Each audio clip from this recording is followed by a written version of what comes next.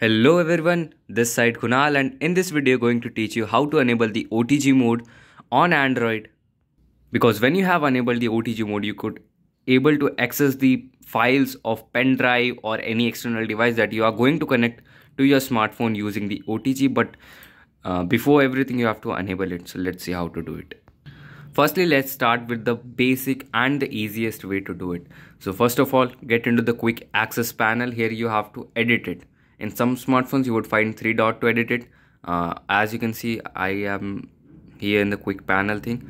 Now you have to find out OTG from this uh, space.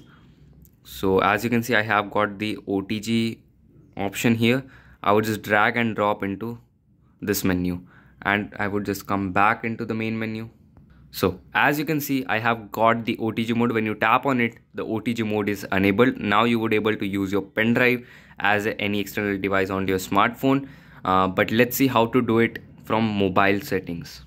It's quite easy actually. But if you haven't liked the video do it sir please.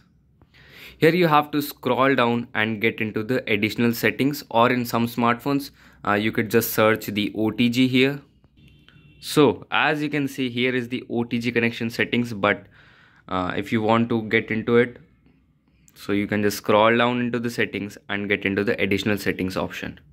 Here you would find the OTG connection which says automatically turn off when not in use for 10 minutes but when you enable it it just uh, starts supplying the power to the the micro USB or the type C port. So you would able to use your pen drive as uh, an external device or anything uh, just by using an OTG which is something like this or any kind of OTG. I hope you found the video useful. If does, then make sure you hit the like button and subscribe to our channel to let other users know that this content is really really helpful. Bye.